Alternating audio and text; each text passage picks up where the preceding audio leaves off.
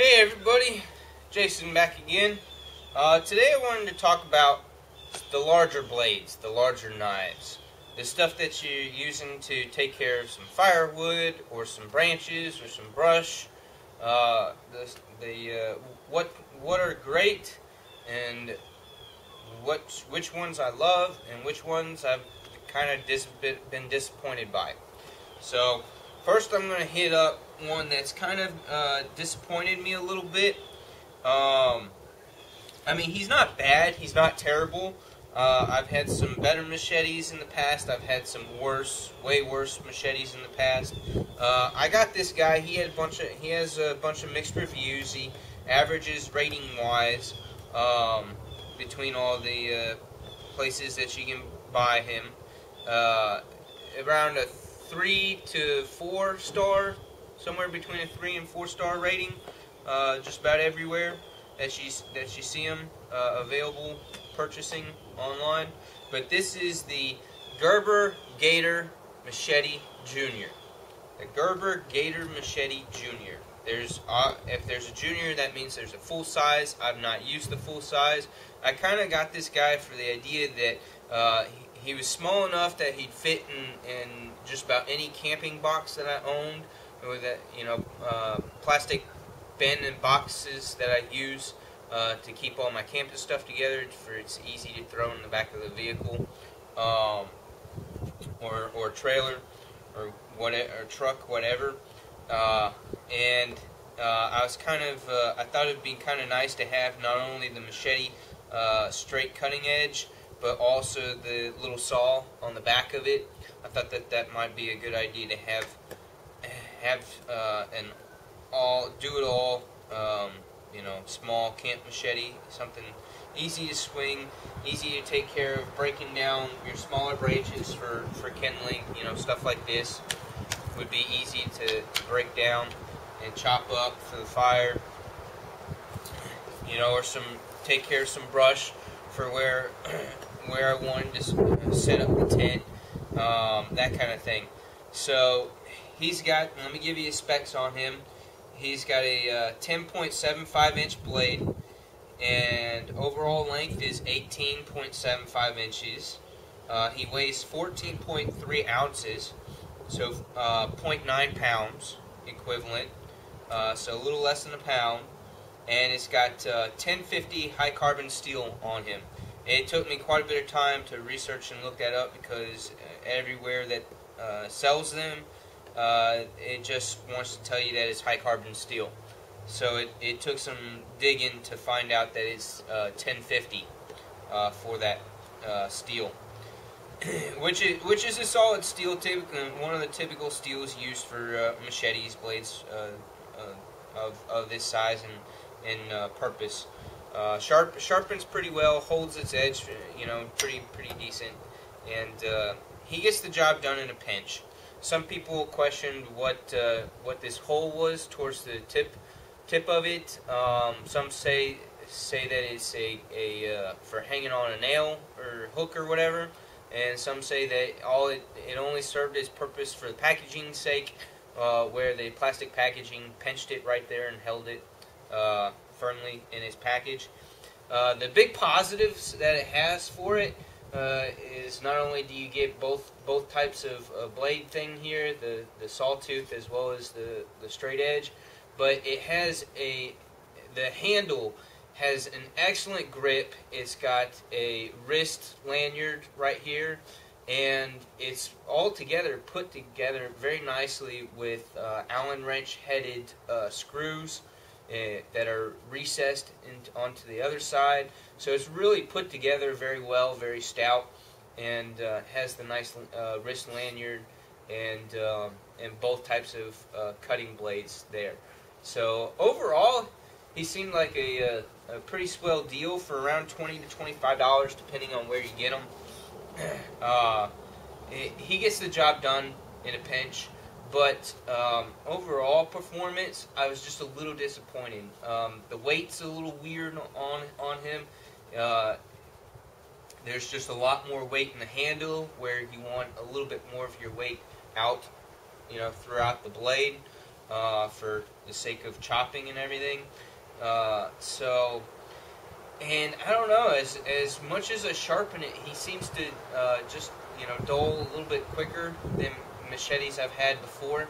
So, uh, for, for the price, it, it's a it's a solid option, and it gets the job done. It gets the job done. So I'm not I'm not going to bash it too much. I'm just going to say that uh, he's kind of right there in the medium range for good to bad. Um, so another positive is it comes with a very nice sheath, uh, nylon sheath. Uh, very drops in there and, and, comes out very nicely, very smoothly. Uh, has a guard here for that uh, uh, protects like three quarters of the handle, um, and uh, has a little strap for looping, running it through your belt and it's also got a securing strap that wraps around the handle velcro all velcro that helps keep it from from coming out when you bend over or if you are just you know tossing it somewhere off to the side with it in its sheath uh, it doesn't come out. And, and uh, so that's that's that by Gerber the Gerber Gator Machete Junior. Uh, the next one I wanted to talk about, and both of these are cold steel, both this two-handed machete, and this is by far my favorite machete out of all this, you know, one-handed, you know, single-hand grip machetes out there. Uh, some of them I've liked a lot, some of them I've hated. Uh, I have mixed feelings about the, the that Gerber uh, Gator Junior, uh, but this to make a two-handed machete was a brilliant idea and this guy is awesome. He cuts like a boss. Let me go ahead and give you the specs on him. It's made by Cold Steel. As much as I don't care for their uh, Trulock uh, backlock uh, folding knives, uh, they make a really good two-handed machete here, and also this axe, um, camp axe uh, here uh, they, they did a really good job with him as well. So this is the two-handed machete. It's about right around $20, depending on where you get it from. Uh, I got mine off of Amazon, but apparently you can also get it directly from Cold Steel uh, for pretty much the same price. The blade is 11 and a quarter inches uh, cutting uh, edge. It's um, 32 inches in full length from the bottom of the handle to the edge of the blade. And it, they use, uh, Cold Steel uses 1055 carbon. Um, so slightly, just very, very slightly better uh, steel than what was on that Gerber uh, Junior. Um, what else about it? Oh, weight. 30 point 9 ounces, 30.9 ounces, so 1.9 pounds. So just just under 2 pounds, a little bit under 2 pounds. It's a good weight, and it's got good balance. The balance point is uh, pretty much right here at the base of, of the blade, top of the handle, um, which is where you want it. You want uh, you know the blade to have a good bit of weight to it, um, so that it's, it's well balanced right about there. Uh, the handle length is uh, 20 and 3 quarter inches long, so good long handle. And I tell you, it gives you just so much power with being able to swing it like this, having two hands, uh, or you can use it one-handed and choke up on it um, like that. I wouldn't necessarily suggest, unless you're real positive on your grip and do it safely, uh, doing a one-handed swing like that. I probably wouldn't do that. Um, too often, unless you're just you know have want trying to reach up to get just a uh, a thin branch on a tree that's up high. Uh, you know, maybe do maybe take care of that, and that's kind of one of the versatility uh, aspects about it is the fact that with with the having such a long handle and the blade really being out there, you can reach up and trim trees uh, with it if and tall bushes, you know, stuff like that works great for around the house for uh, taking care of things like that um, without having to get out the ladder and, and try to be on a ladder and swinging a blade. Uh, a large blade, you know, it's a little bit safer to keep your feet on the ground and just be able to reach up with this guy like that. Um, the blade thickness, if you if you need to know that, is two millimeters. So uh, appropriate for you know your typical machetes is, is right around at two millimeter.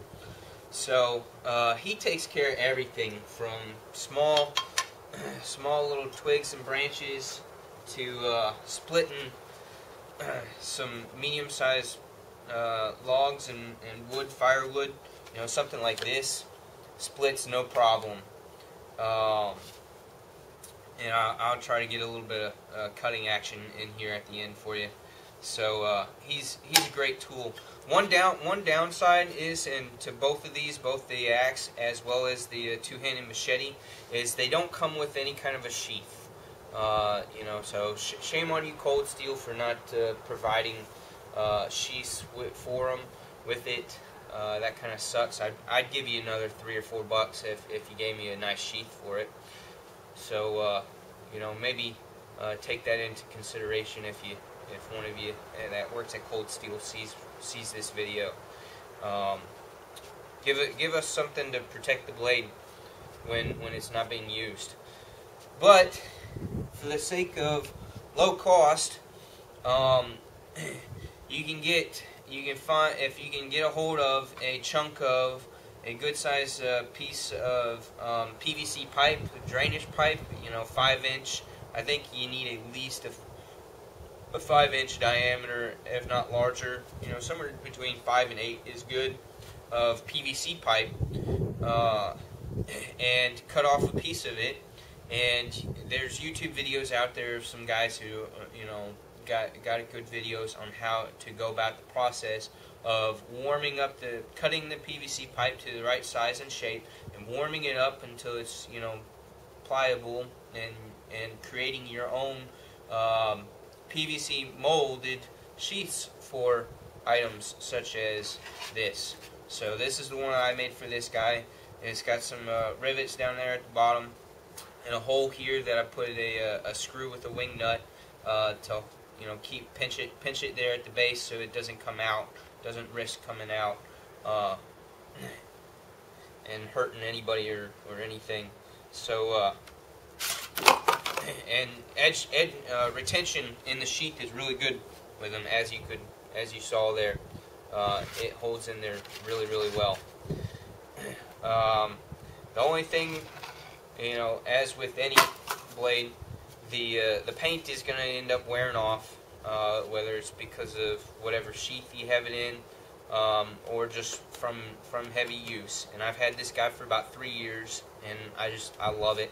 Uh, used it so many times on so many things, but um, the the easiest way to uh, that I've discovered and, and figured out uh, to uh, recoat it, repaint it but uh, without getting the edge of the blade, um, is to take like your uh, car uh, door trim, uh, just take a little strip of that and put that on there, and you know cut to size uh, to cover up the edge of the blade there, where um, where you're cutting and uh, and having to um, sharpen, and then and then that way that stays uh, does not get the paint on it, and then you just paint the rest of it, uh, whatever color. Um, I used a uh, the high heat uh, paint, spray paint, uh, high heat uh, grill paint from Walmart. That's just what I used to coat this guy. Um, every once in a while, I'll hit him up.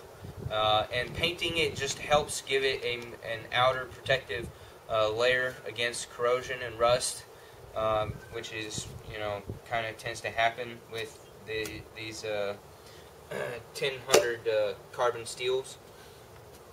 So that's that. I love, absolutely love that two-handed machete. It is fantastic. I think every every outdoorsman, anybody who you know uses a machete uh, more than just you know once a year, needs to have have one of these two-handed machetes uh, by Cold Steel.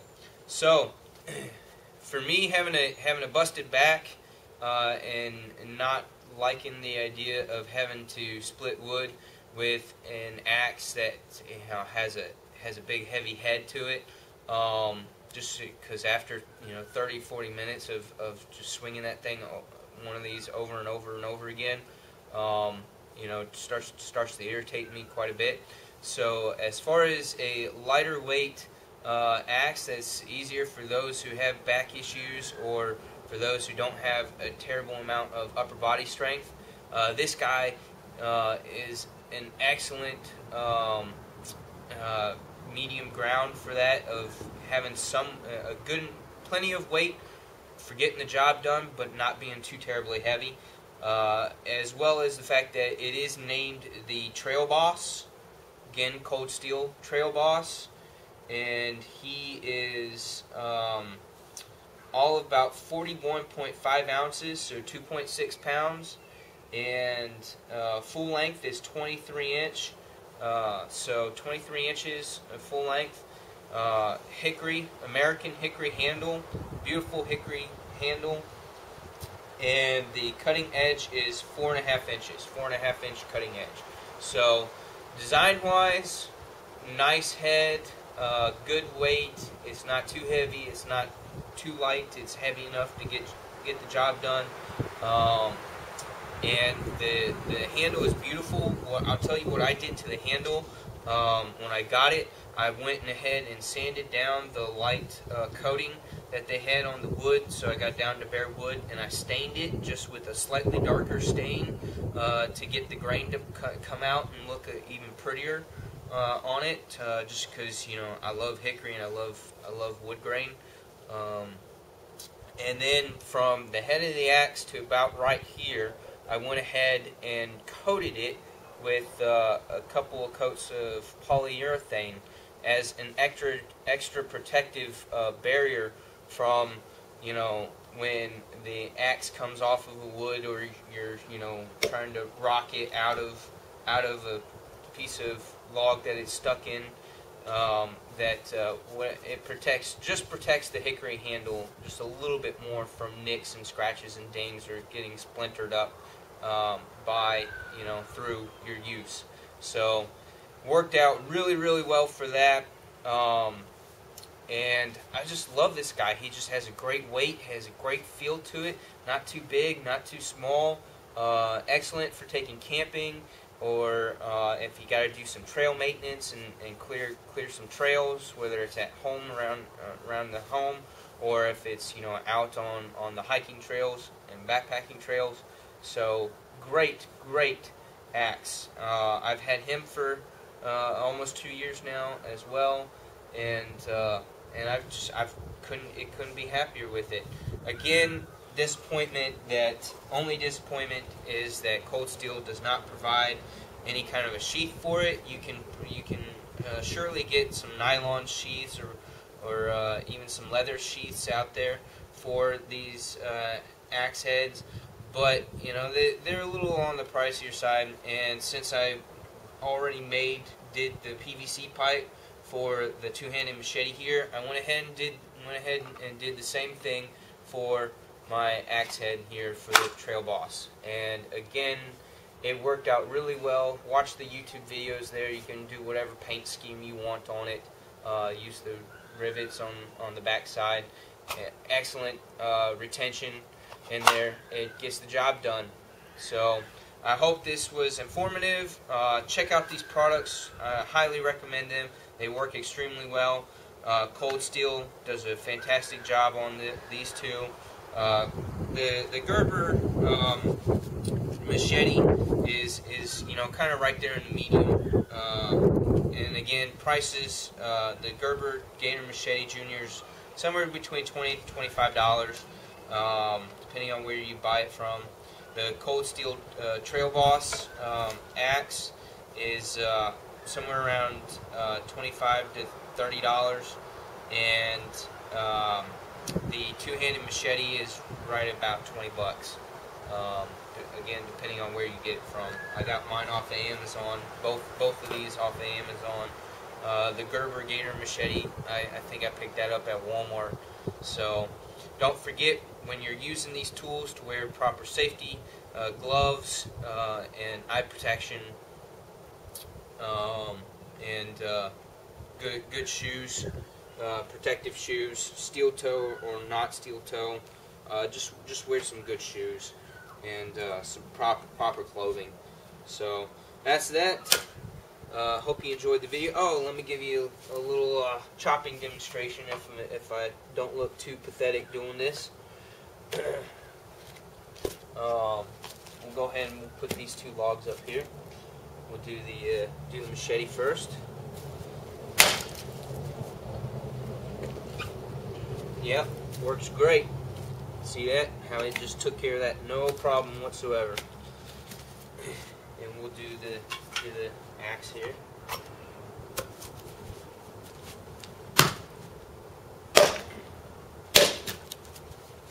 Ground's a little soft. We've had a good bit of rain, so it worked better. Um, banging it on that, but yeah, as you as you saw, it splits just fine. It splits pretty well. There you go. Took, took care of that bad boy right there. Just as easily. So, yeah. Great tools. Great tools. Recommend them for sure. No problem whatsoever with either one of them. And don't forget about the machete. If you're still a machete person and like the uh, single-handed, lightweight, small, compact deal, uh, it works pretty well too. So, that's it. Thanks for watching, and uh, see you next time.